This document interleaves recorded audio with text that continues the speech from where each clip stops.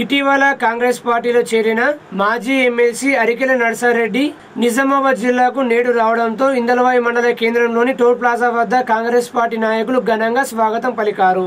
ఇందలవాయి మండలం నుంచి Dichpalli railway station వరకు కాంగ్రెస్ పార్టీలో చేరిన మాజీ ఎమ్మెల్సీ అరికెల నరసారెడ్డి నిజామాబాద్ జిల్లాకు రావడంతో కాంగ్రెస్ శ్రేణులు పెద్ద ఎత్తున బైక్ ర్యాలీ నిర్వహించారు. ఇందలవాయి టోల్ ప్లాజా నుండి డిచ్పల్లి రైల్వే స్టేషన్ బస్టాండ్ వరకు ఘనంగా భారీ ర్యాలీ నిర్వహించి స్వాగతం పలికారు. టీఆర్ఎస్ బీఆర్ఎస్గా మారాక తెలంగాణతో ఆ పార్టీకి సంబంధం పోయింది. రాహుల్ గాంధీ నాయకత్వంలో కాంగ్రెస్ పార్టీ పురోయోగం పుంజుకుంటుందని ఆయన స్పష్టం చేశారు. అనంతరం ఆయన మీడియా సమావేశం నిర్వహించి మాట్లాడుతూ నిజామాబాద్ రూరల్ నియోజకవర్గంలో ఎమ్మెల్యే బాజిరెడ్డి గోవర్ధన్ ఏం చేసింది లేదని అభివృద్ధి ఏం లేదని విమర్శించారు. తొమ్మిదేళ్ళలో ఒక్క అభివృద్ధి కార్యక్రమం చేశారా అని ఆయన ప్రశ్నించారు.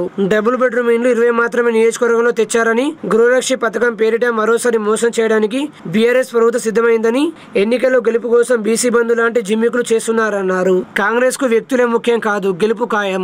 రూరల్ నియోజకవర్గంలో ఎవరికి టికెట్ ఇచ్చినా కాంగ్రెస్ను గెలిపించుకుంటాం. తెలంగాణలో అధికారంలోకి వస్తామని ఆయన ధీమా వ్యక్తం చేశారు. ఈ కార్యక్రమంలో డిచ్పల్లి మండల కాంగ్రెస్ అధ్యక్షులు అమృతాపూర్ గంగాధర్ రూరల్ నియోజకవర్గం బ్లాక్ అధ్యక్షులు పొలసాని శ్రీనివాస్ మండల కాంగ్రెస్ అధ్యక్షుడు నవీన్ సీనియర్ కాంగ్రెస్ నేతలు శాంసంగ్ ధర్మాగౌడ్ వాసు మురళి తదితరులున్నారు.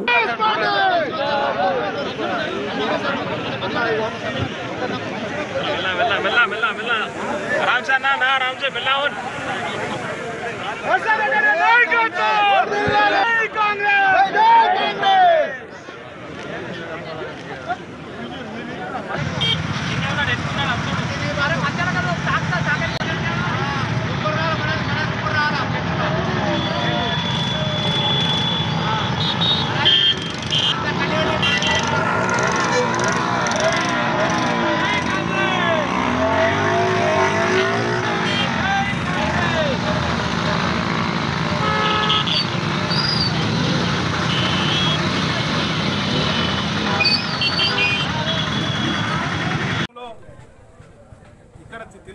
నిజామాబాద్ జిల్లాకు ఒక చరిత్ర ఉంది.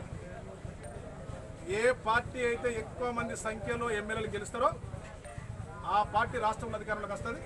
రేపు జరగబోదు ఖచ్చితంగా పెద్ద సంఖ్యలో ఇక్కడ ఎమ్మెల్యేలు గెలుస్తారు.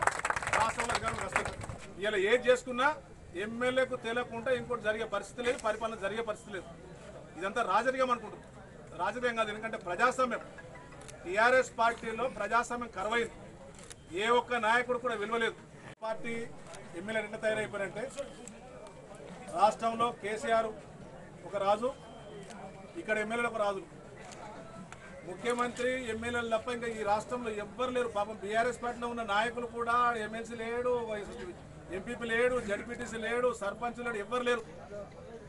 చెట్టు ఊగాలనుకున్నా ఎమ్మెల్యే తెలిసే ఊగాల. కాంగ్రెస్ పార్టీ ఉన్న నాయకులు కానీ అభిమానం కొద్దీ కాంగ్రెస్ పార్టీకి ఒక ఉత్సాహం వస్తుంది కాంగ్రెస్ పార్టీకి ఒక ఊపు వస్తుంది. ఇటువంటి సందర్భంలో కాంగ్రెస్ పార్టీకి ఇంకా ఉపయోగపడుతుందని చెప్పేసి స్వాగతం పలకడం జరిగింది తప్ప ఇక్కడ ఒకరు రాలేదనో ఒక లక్షణం కాదు. కేవలం ఎందుకంటే నా మొత్తం చూడండి ఎందుకంటే మొత్తం ఎందుకంటే ఇది నేను రాలేదు. ఎవరు ఎందుకంటే స్వాగతం పలికారు కాబట్టి నేను మొట్టమొదటి వచ్చింది కాబట్టి ముఖ్యం మాట్లాడుతున్నాను. ఈ సమావేశం కాదు స్వాగతం పలికారు. స్వాగతం పలికిన వ్యక్తులందరూ కూడా ధన్యవాదాలు.